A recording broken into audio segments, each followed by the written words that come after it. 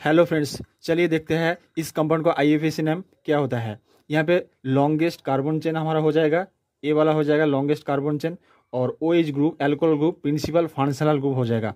Principal functional group और principal functional group के पास नंबरिंग स्टार्ट होगा। First carbon second carbon third carbon और टू पर दो मिथाइल सब्सटीट्यूएंट ग्रुप जुड़ा हुआ है, इसलिए टू दो मिथाइल को two comma two